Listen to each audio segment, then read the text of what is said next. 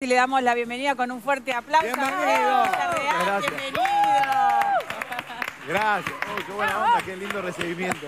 Qué lindo, qué lindo. Gracias, ¿cómo están? Pero ¿Todo bien, mejor, es contrabando, dice un amigo. Dice, Es no lo digas en reunión sí. de adu- aduaneros. Eh, saluda a la cocinera ahí que la vemos Ah, bien. Claro. ¿Qué está preparando hoy? Cómo sabe con quién sumar Uy, puntos. unos Sí, ¿qué, alfajorcitos, nos, qué ¿no? nos Caro? se va? ¿Qué nos va a preparar hoy? Alfajorcito sin azúcar para vos. Sin Freddy, azúcar, claro, chocolate. me estoy cuidando, Bien. así que ¿Te estás cuidando, Freddy? Sí, ¿cómo andan? Pero, espectacular. Bueno, ¿Vos? vine para eso, les mando un beso. Freddy, ¿tenés que cuidarte y ahora mucho más con el tema de la obra? Eh, la obra, sí, la obra es una... Es como jugar un partido de fútbol. Tenés que enlongar antes. Claro. Y con alargue. Sí, sí, con alargue eléctrico y, y con alargue por éxito, gracias a Dios, porque estamos alargando, según lo que me ha informado Diego y todo su equipo, de que eh, pusimos a la venta eh, otra función más, agotamos la del viernes que viene, el sábado y el domingo, y el sábado vamos a poner una segunda función, no, ya la, han puesto y ya se ha vendido, lo cual eh, no, no deja de impactarme a mí un agradecimiento a todo Uruguay, como siempre, porque mi carrera pasó mucho por, por Uruguay. No solamente cuando yo trabajaba, sino que venía recordando en el barco a, a los extraordinarios cómicos uruguayos y, y- y cómicas. Por ejemplo, recuerdo a, a Espaltera, Almada, a D'Angelo, que yo los veía y quería ser Claro. como ellos. O sea, yo hoy soy el artista que soy porque me nutrí viéndolo a D'Angelo, a Redondo, a, ¿Hace a cuánto- Cacho. ¿Hace cuánto que no venías a Uruguay? ¿Cómo, mi amor? ¿Hace cuánto que no venías a, a No, vine, obra? vengo mucho acá porque en realidad hago shows, pero hago shows corporativos. Ah. Y, y por suerte quedó como un viento de cola de aquellas épocas que, que me pudieron haber visto a mí en el programa de Marcelo, en Buenos Aires, o La Risa es Bella, mi propio programa que salió, si no me equivoco, en este canal, este programa de humor. Entonces este, eh, me, me- me llaman muy seguido. Amo Uruguay y no, no, no es una frase hecha porque Sí, sí. que necesito vender entradas, porque vengo cuando no hago teatro igual, trabajo mucho y me encuentro en cualquier lugar del mundo como me encontraba, siempre. Uruguay, somos uruguayos vos, siempre, vamos arriba, vamos, y, y en cualquier lugar. Aparte has tenido la posibilidad de trabajar con, con, bueno, con Maxi ahora, pero con Maxi, con Sebastián con Almada, Seba, con el Pichu. con oh, lo amo, Álvaro, Picho es mi mejor amigo, Almada también. Qué raro, porque no tiene amigos. No, yo lo Picho conocí. no. Picho es un, es un pan de Dios. Qué buen Y tipo. yo le decía a, a, a, a, a- a- como dice Sebastián, no es que yo guste de vos, pero te tengo que mirar mucho porque yo cuando vos trabajás, y así hicimos teatro juntos, que también hace mucho tiempo vinimos con la obra nuestra acá, cuando vos trabajás yo lo veo a tu viejo. Claro. Entonces yo quedo con la mandíbula abierta porque Claro. no es que te- me gustás, que, que- pero si me gustase podríamos, pero me gustan Claro. las mujeres por ahora, pero, Pero esa admiración. pero es esa admiración ah, lo veo al papá. Sí, sí, tal Eh, cual. Y, a- y a- a- le- se lo dije lo mismo también a Maxi, A Maxi. lo veo a Cacho. Y yo, yo me crié con ellos. Yo soy grande, yo tengo arito, pero soy grande, yo la, la peloteo. Soy más grande que todos ustedes. No te creas, ¿eh? Mirá que los pelados parece que, Sí, claro, que son eh, jóvenes, pero yo estoy pelado de los 20 años, o sea que a los 20 era viejo. Ahora estoy diciendo, bueno, ahora me toca a mí decir, ¿Viste, Sorondo, por dónde es? No, te tenés que pelar. Pero, Olvídate. ¿y, y siempre estuviste enamorado del humor? Ah, absolutamente, absolutamente. Sí, eh, eh, yo creo que me voy a morir eh, en las tablas y haciendo humor. Y me enamoré del humor porque cuando trabajé por primera vez pasé un mal momento en un, en, en un proyecto artístico a los 6, 7 años del colegio, que era un movimiento folclórico. La pasé, no la pasé mal, pero cualquier otro chico lo hubiese pasado mal. La maestra Rosita, no sé el tiempo, pero se lo resumo en un minuto. La maestra Rosita dice, bueno, levanten la mano los que quieren bailar el movimiento folclórico El Gato. Eh, hay un mes para la, fiesta patria y todos levantaron la mano y yo también, yo, yo, yo, yo, yo. Entonces eligió a cinco chicas y a cinco chicas y a cinco chicos, cinco niños. Dentro de esos cinco niños no estaba. Hizo así, así, me salteó y yo me quise morir. Dije, no, ¿cómo? Esto era lo mío, a mí me encanta. Entonces, en la semana venía el profesor de música y se llevaba a los 10 y nosotros nos quedamos haciendo la tarea mientras los otros iban a hacer lo que yo soñaba. Claro. Llegó el día y faltó uno No. de los muchachos, de los niños. Y dijeron, ¿quién se anima? Levanten la mano. Nadie la levantó porque no había previo un ensayo como todo el mes, entonces nadie quería exponerse. Claro. Y yo la levanté con más intensidad que la primera vez y me eligieron.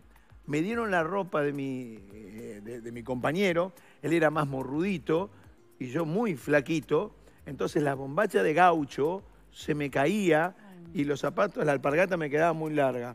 Cuando me dicen, bueno, en cinco minutos salen a bailar, te la marcamos como podemos Claro. y, y, y piloteala. Y ahí, cuando yo traté de bailar, mientras unos iban por un lado, yo me, me iba para el otro sin querer, yo queriendo hacerlo bien, y en un giro se me pianta la alpargata y le llega a la cabeza de la directora, Ay, todos se reían, y en otro giro quedo sin pantalones, No. con seis años, el bullying, Claro. todo lo que hoy todavía sigue agobiando a los niños, en aquel momento también existía. Y se reían todos de lo que estaban viviendo. Y yo, eh, esa situación de ridículo, en vez de pasarla incómoda en mi, en mi- en mi mente y en mi corazón, lo disfruté. Me encantó ser ridículo. Claro. Me reí yo también de lo que me estaba pasando.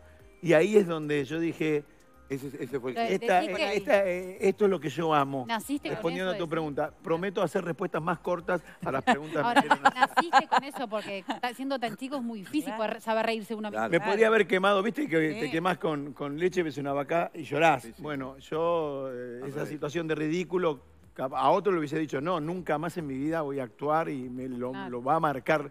A mí no me, me encantó ser Freddy, y hoy, ridículo. y hoy decías que sí, obviamente, todos vimos y, y vimos tu crecimiento en lo que fue Videomatch, ¿no? Sí. Este, pero ¿cómo, ¿cómo fue tu vínculo con Videomatch y cómo era Freddy antes de estar en Videomatch? Porque ahí fue la explosión Sí. de hacer un montón de cosas, de generar un montón de personajes. Pero ¿cómo era antes?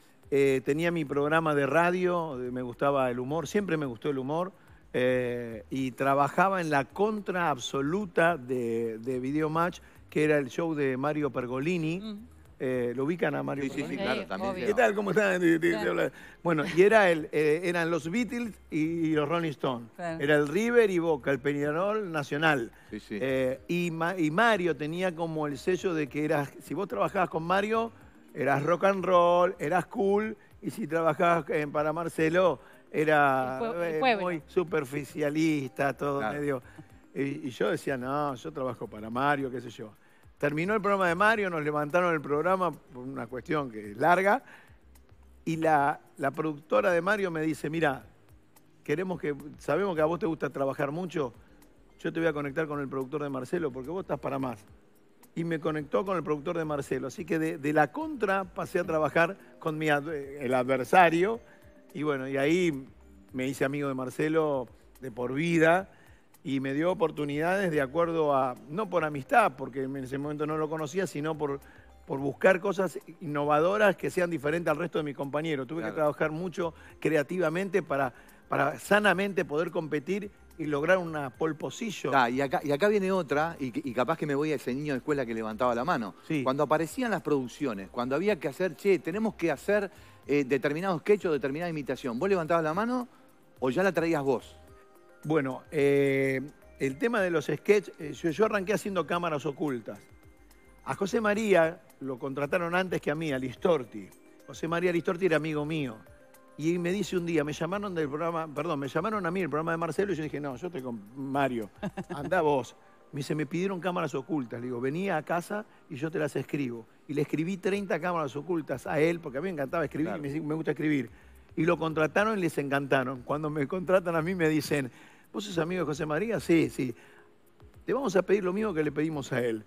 Tenés que traerte 30 ideas de cámaras ocultas. Yo se las había dado hace un mes, todas las había escrito para él. Ay. Así que por suerte entré con una chiquita, eh, eh, entré ahí. Y ahí no paré de trabajar creativamente para poder competir sanamente con, con el resto de mis compañeros.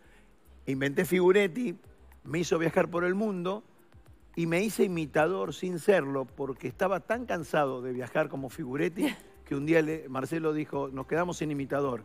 Y ahí no tenía seis años para levantar la mano, pero tendría veintipico. Y, dije, yo imito. Nunca había imitado a nadie. Mirá. Y ahí me... ¿Cuál fue la primera imitación? ¿Cómo? ¿Cuál fue la primera imitación? Eh, creo que fue, sí, la más significativa de la Rúa, que Rúa. fue un expresidente nuestro y, y que fue muy significativa también para mi carrera porque se creó como un Mr. Magoo. Era después impresionante. Ya tenía identidad propia y me salvó imitar para no viajar más, porque ¿No Figuretti te me tenía... viajar? Era una sensación adorablemente detestable, porque era lindo viajar, pero era llegar a un lugar y, y grabar y grabar y pasar momentos difíciles, estar preso en muchas ocasiones, este, detenido en varias. eh, Sí, sí, y- porque y- ibas y al por hueso, momentos ¿no? donde arriesgaba la vida también, Claro. porque en cumbres presidenciales yo sin acreditación saltaba vallas o aparecía adentro de una caja Qué locura. o salía de un tractor, como me ha pasado en Sí, sí, sí, Argentina, locura. para poder entrar a lugares que, que era imposible. Y otra de las cosas que, que creo que disfrutamos de los personajes que, que imitaste era que nunca rompías el personaje. Desde que el personaje estaba en escena, Sí. lo que pasara, no importaba lo que pasara alrededor. Ah, no. pero Bueno, siempre- eso hay que hacerlo siempre. Claro, pero hay En veces en que... el tren de la alegría, Está cuando bien, uno pero hay ve veces que los humoristas- fumando y se saca, no queda bien. Claro, pero viste que, que- que hay muchos que juegan a eso y también les da Sí. resultado. Bueno, en esta obra trae mucho de romper, se llama romper la cuarta pared, digamos, ¿no? Son, son una este estudio tiene cuatro paredes. El teatro tiene tres paredes, toda la escenografía, pero la cuarta pared sería la, que el público, eh, o sea, el público vería una pared invisible. Y en esta obra se juega mucho con el, se rompe la, se rompe el personaje y vuelve como algo artístico, no como una negligencia Claro. actoral. Totalmente. ¿Cómo, ¿Cómo se llevan con el equipo, con esta Bien experiencia con de todos, verano? menos con Maxi. porque- No, eso, bueno, No digas que es porque Codito. nosotros lo echamos de este programa. de eso, Él venía varias veces a la semana, estuvo sentado en todos los sillones de este programa. Por suerte nos lo sacamos de encima. Maxi. Lo amo, lo amo, compañero de camarín y de obra. Y me pasó algo tan extraordinario. Yo, ay, no sé el tiempo, perdón. Ahí tenemos imágenes de la obra. Mi nena, que tiene 13 años, viaja de Buenos Aires a Mar del Plata a hacer la obra. Y hablo con la mamá y le digo, ¿tiene la edad suficiente para viajar? Le explico dónde es la puerta de ingreso, qué le va a pasar. Ya tenía asistencia a bordo, pero esta vez la largué sin asistencia a bordo. Entonces, eh, me llama, me dice, pa, me acabo de desmayar. Y yo estaba en Mar del Plata esperando que llegue. Y se me vuelve a desmayar de vuelta y escucho la voz de alguien que dice, ¿estás bien? ¿Estás bien? ¿Estás bien?